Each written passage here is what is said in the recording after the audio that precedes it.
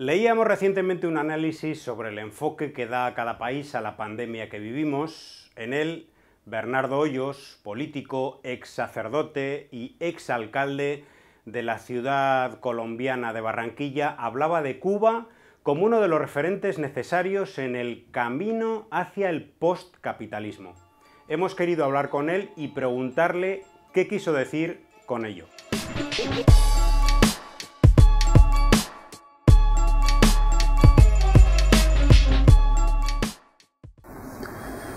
Nosotros conocemos eh, desde hace algún tiempo dos sistemas político, económico, social, que fracasaron ambos. Por un lado, el capitalismo, que tiene como único objetivo la acumulación de capital, la acumulación de riqueza. Y el socialismo real, de orientación soviética que también fracasó por completo. Y ahora el capitalismo con su nueva modalidad de financiera, el neoliberalismo como tal, que solo produce muerte, tragedia, sangre, exclusión, humillación. No sabemos para dónde coger, porque ya llegó a un grado tal de que no puede continuar. Precisamente esta pandemia nos ha hecho entender, o mejor, ha quitado el velo de toda la porquería, la podredumbre, la miseria que el sistema capitalista neoliberal engendra.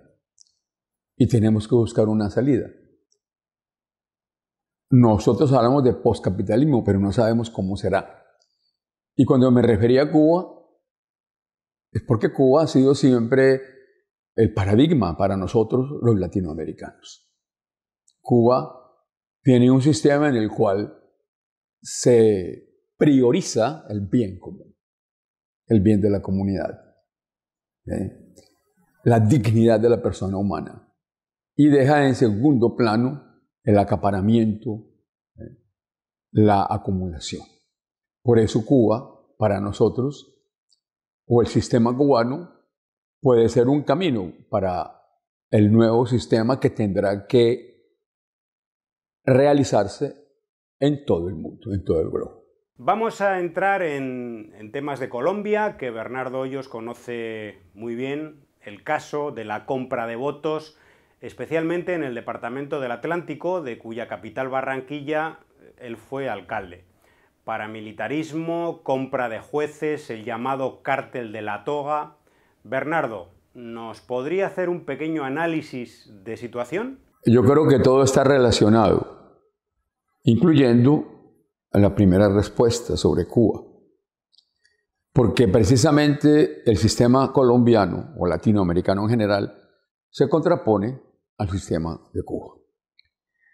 Acá en Colombia desde hace mucho tiempo, desde cuando inicia la República, entre comillas, eh, se maneja en cuanto al cambio de gobernantes, se maneja siempre el fraude, se maneja la mentira, se maneja el soborno, la compra de votos, a través de la historia y en todo el país.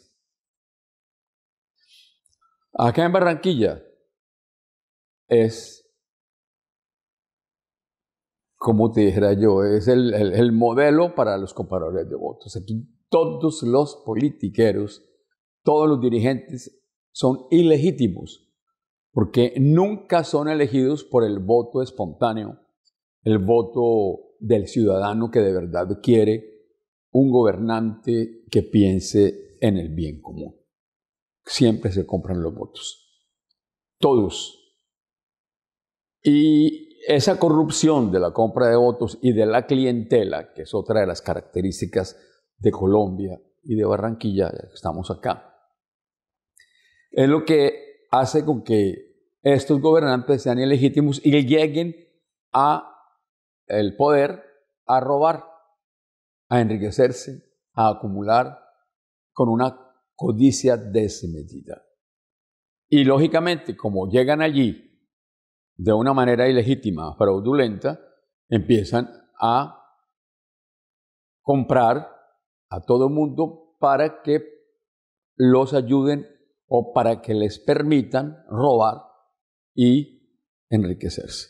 Entonces compran al juez, compran al fiscal, compran al magistrado, compran a las altas cortes, y eso es así. Aquí hay dirigentes que se han robado todo lo que tú quieras imaginar y no les pasa absolutamente nada. ¿Por qué? Porque el dinero lo compra todo. Es la corrupción más. Por eso hablamos del cartel de la toga y del cartel de la compra de votos. Es más, aquí no hay partidos, aquí hay carteles de personas que se unen para engañando a los ciudadanos, aprovechando aprovechándose de su ignorancia y de su hambre, porque el hambre y la ignorancia forman una aleación muy difícil de romper. Y ese es el instrumento que utilizan los politiqueros para mantenerse en el poder y robar, destruir y matar y masacrar a la mayoría. Y entonces el cartel de la toga es ese, toda la justicia comprada y politizada, porque también es otra cosa. El que tiene el poder político, pues lo compró y también compra a la justicia. Acá en Colombia, en América Latina en general, recordemos el caso de Dilma Rousseff, Luis Ignacio Lula da Silva, Rafael Correa, Evo Morales, eh, los Kirchner en Argentina, y así por el estilo. Lo que han hecho con Maduro en Venezuela, lo que hacen con Cuba, con el bloqueo, con las calumnias, con las injurias, porque ellos tienen, repito, comprada la justicia y politizada la justicia. ¿Y cómo? ellos dan el dinero para comprar los votos en el Congreso, entonces el Congreso, manejando a los jueces, a los fiscales y a las altas cortes, manejan todo. Y por eso el cartel de la toga. Aquí hubo un fiscal, Néstor Humberto Martínez, el pasado, que vino aquí a Barranquilla y se escandalizó, dijo él, con la compra de votos, pero no hizo nada. Y yo le dije, ah, se le, dieron náuseas, me dijo. Y yo le dije, hombre, fiscal, si tú escudriñas en el cartel de la toga, no te van a dar náuseas, te vas a defecar, te vas a orinar de el asco que vas a sentir. Eso es, esa es la realidad. Queríamos preguntarle también a Bernardo Hoyos qué está sucediendo con los asesinatos selectivos de líderes sociales y comunitarios en su país. También es una costumbre inveterada en Colombia. Desde el inicio, no, desde antes de, iniciar el siglo XX, en el siglo XIX, la cantidad de muertes por el poder, por la política, entre comillas, liberales y conservadores, el siglo XIX fue, estuvo plagado de luchas. Y termina el siglo con la mayor eh, guerra, llamada la Guerra de los Mil Días, entre liberales y conservadores, por llegar a la presidencia. Finalmente se hace una, una amnistía, hace unos acuerdos que no cumplen. A los, a los 10 años asesinan en, pleno, en plena calle cerca del Capitolio al general Uribe Uribe, de los que había hecho la negociación con los godos que estaban en el poder. Y el siglo XX fue también plagado de asesinatos, de masacres, por mantenerse en el poder, principalmente los conservadores, acolitados por la Iglesia Católica contra los liberales. Y eso fue durante todo el siglo XX. Eh, lógicamente, que se, se, agravó o se vio más evidente eh, en los gobiernos de Laureano Gómez, antes de Ospina Pérez, Rojas Pinilla, que mataban a los hermanos como matando moscas o cucarachas por el poder, por estar allí. Y entonces, y han seguido en eso. Ellos formaron los paramilitares. Es impresionante cómo del 80 al 90 eh, era impresionante cómo mataban a la gente. Y principalmente cuando alguien hablaba de una reforma política, de construir la paz, de reformar toda esta estructura eh, nefasta del país, inmediatamente mataban a todo eso. Acordemos el caso cuando Samper Pizán, cuando César Gaviria Trujillo, cuando Pastranita, ¿eh? Y, después ahora con Uribe y con Duque. Entonces, eso de matar líderes y de matar eh, militantes que piensen diferente ha sido una constante en este país. Por eso yo creo que esta pandemia debe hacer o darnos la oportunidad de que los colombianos piensen y analicen la historia del país, porque siguen matando líderes. Ayer mataron dos líderes, en plena pandemia, en plena angustia, en pleno encerramiento forzado, represivo como el en el que estamos, y siguen matando a los líderes, porque sencillamente están exigiendo sus derechos, están exigiendo tierra o están cuestionando a Duque. Parece que es imposible hablar de Colombia sin hablar de Venezuela, o más bien al revés. ¿Qué papel cree usted que juega el gobierno de Iván Duque en la agresión de Estados Unidos a Caracas? Los colombianos y los venezolanos somos iguales, somos lo mismo. ¿eh? Y nuestra frontera es eh, eh, una frontera que ha estado siempre abierta y el, el va y viene de venezolanos y colombianos ha sido siempre una constante y una característica de estos dos países. Más, Simón Bolívar, el libertador, pues era de Caracas. Así por el estilo Sucre, grandes eh, personajes de la historia de la independencia son eh, venezolanos.